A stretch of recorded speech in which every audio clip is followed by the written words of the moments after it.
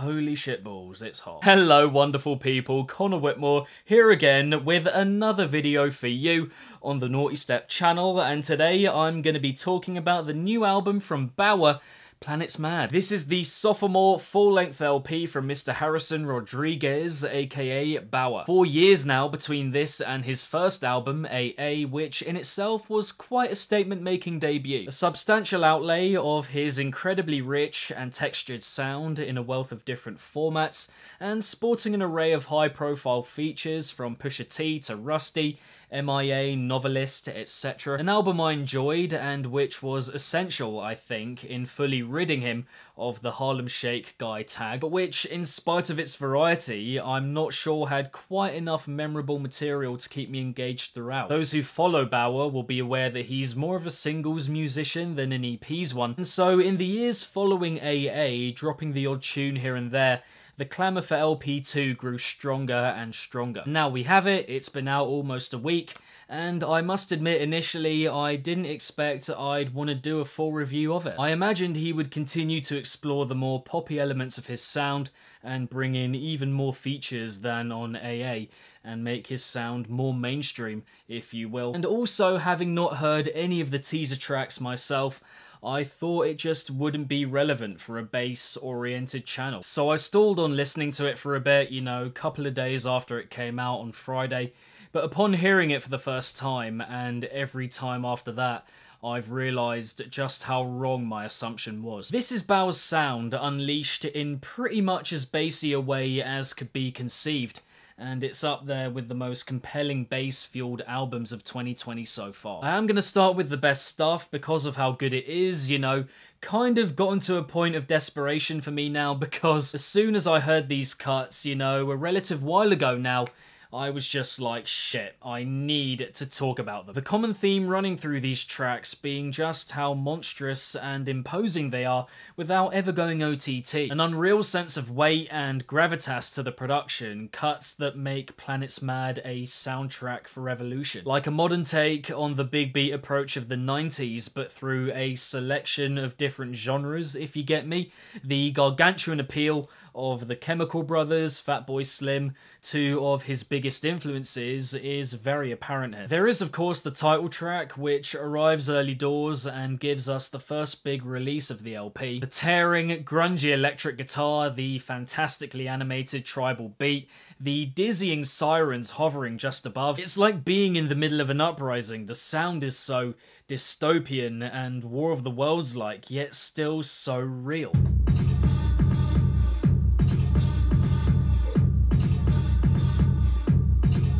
The sirens do become a bit grating over time, and the shimmering sequence to end feels a little out of place, but the general sound is so full and rounded, and the guitar tribal beat combo makes easily the biggest impression here. At the other end of the LP, you have the closer group, which is an appropriately emphatic way to finish. Fat, dubstep-like beat, big wubs on show, more extremely thick percussion, again, just very imposing.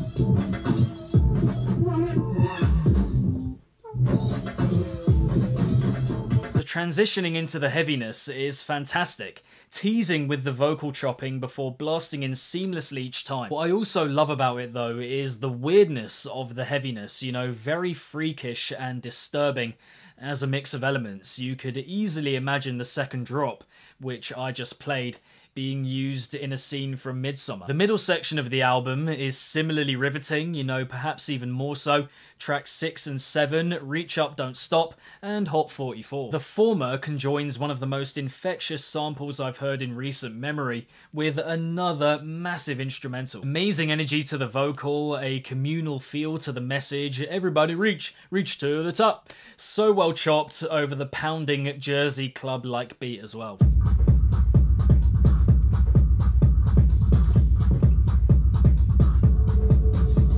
Appreciate the more low-key developments here as well, especially in bringing the vocal chopping to the forefront. It's a song of power and bringing people together. And after that, we have what is probably my favourite cut on the LP, which is Saying Something, Hot 44. Not often that you get a big name EDM producer dipping into big room techno, but when they do, Inject it! It's eerie, mammoth-like, the swing and pulse of it becoming more apparent with the background touches over time. A slight tribute also to Savage Skulls by Lorimer.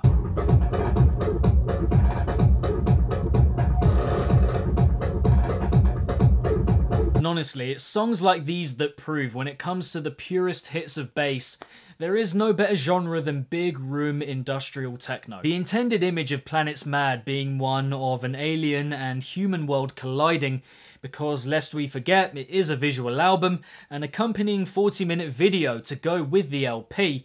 Incredible work from Actual Objects, and if you haven't watched it yet, I really recommend doing so.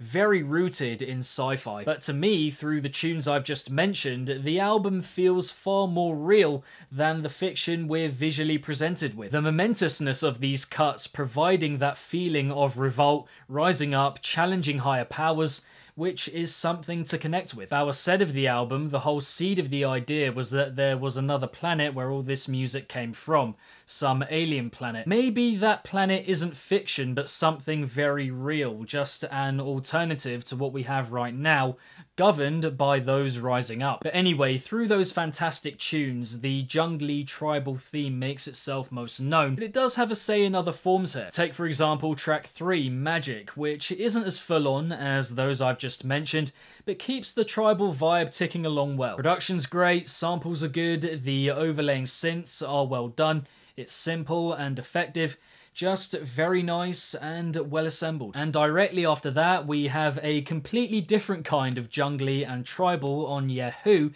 the most outright uplifting tune on the LP. A kind of baile funk jungle terror fusion that is completely lovable, the music that plays when all is right in the world.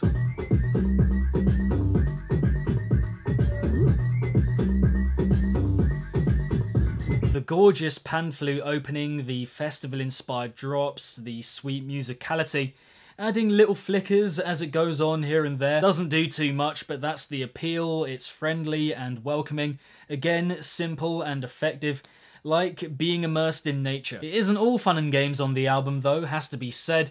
There are some comparative lowlights in amidst the highlights here. We have a couple that, in my opinion, don't really add anything to the album, notably tracks 5 and 9. Pizzawala or Pizzawala and Cool 171. I enjoy the spiritual, ritualistic opening to the former, Pizzawala, Pizza Walla, whatever you want to call it. Some nice transitions on display and memorable overlaying touches as well. But ideas-wise, it's very filler. Again, tribal, but nothing new in light of what else we get very straightforward mid-album cut. Likewise, on Cool 171, I appreciate the feathery, delicate introduction, like a glitchy machine waking up and striking percussion throughout. But once more, the ideas are flat, the flow and bounce is there, the horns are good, but in the moments of impact, not much else to remark on.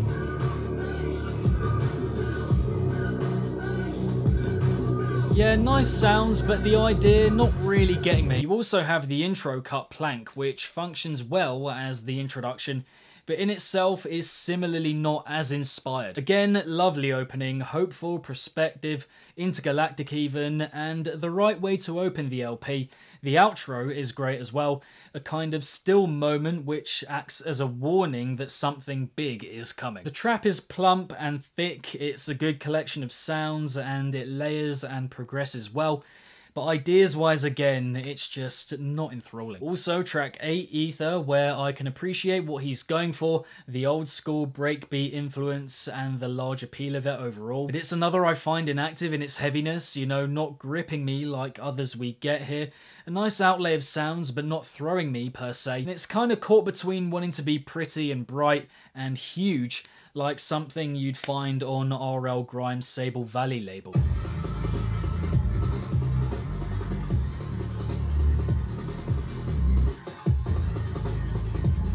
What I would say though is that whilst I may not be as big on these ideas, they still add to the feel of Planets Mad effectively. I'm not taken aback by them, but the pulse and motion of the LP is kept up by their presence, no question. You also have the outliers on Planets Mad, those which stick out a bit. First of all, the interlude, track 10, Remina or Remina. I get what he's going for here, a little moment of respite to tone the album down before the final leg.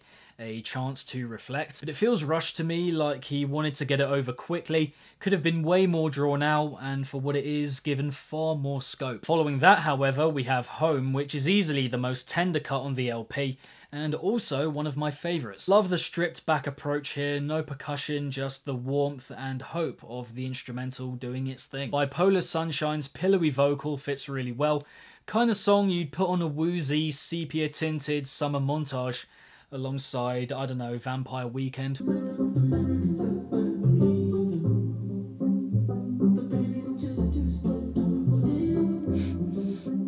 Not to say I don't find it out of place amidst everything else, I do.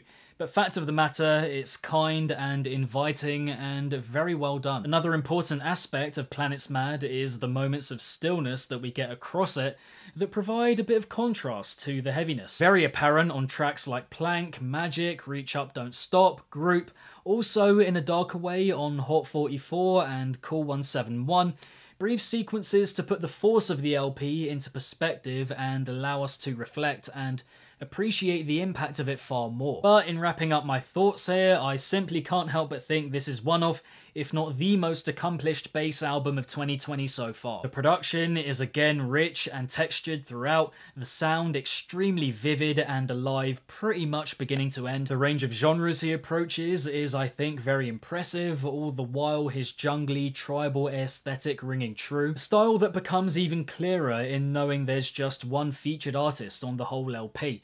It's simply an expansion of his design, with most of the tunes holding their own over their course, especially compared to AA. Also far more memorable material here too. I also love the seamless transitions from one track into another, emphasising the fact that it's a whole and complete story and not just a load of tunes thrown together. It sits in an interesting middle ground between being banger music and music to get real and proper meaning from. And in connecting the album title with the music, then with the film, I think there's a lot to get out of that message, however you want to interpret it. On the flip side, some of it isn't memorable at all, falling very easily into the background, no collaborative assistance to stop them dragging, and at points that's made me think it needs maybe just that little bit more to be exactly what it wants to be. Also a few moments that feel quite rushed, and sections that seem out of place, a couple that overstay their welcome. In the context of Planets Mad, they're not hard to ignore, especially seeing as they're still adding to the general feel of the album, as I mentioned earlier. The sense of body is almost always there to carry it through.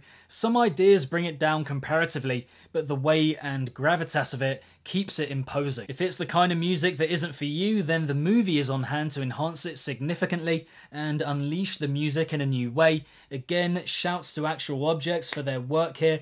Again, it is incredible because on those several levels, there's a lot to get from Planets Mad. To the extent it would be a waste to simply say, yeah, not for me, in my opinion. It's one of the bass albums of the year so far, which may be as much a comment on the lack of great bass albums out there as how outright good Planets Mad is. But I really do think you'll be hard pressed to find a more accomplished, rounded, thematic, and to the point album in bass music this year, straight up. It's by no means perfect, but it is in many ways the exact direction many wanted Baauer to take his music in, and executed with aplomb. Now in terms of my favourite here, then I think I'm gonna have to go with Hot 44. It's pure, raw, animalistic, tribal bass, infectious and pulsating, and difficult to tear yourself away from. So, um, yeah, it is good. And in terms of recommendations, if you enjoyed the album, I would look at Dog Blood. Got that ravey, rounded feel to the production, you know, the vocal samples as well, the chopping and all of that. So, uh, yeah, little recommendation for you from your boy. And so there we have it, my thoughts on the new album from Baauer, the sophomore album, Planets Mad. I hope you enjoyed the video. Thank you very much for watching. What did you guys make of Planets Mad? Do you have a favourite track from the 12? Let me know in the comments below. If you enjoyed the video, give it a big old thumbs up, subscribe to the channel if you haven't already, hit the notification bell along the way as well if you haven't already to be notified whenever I upload a new video to the channel. My social media accounts are linked below, and if you want to find some other album reviews on the channel, I will link them right here. But beyond that, keep it naughty. If it's naughty, then you know, and I will see you legends in the next one. Peace out.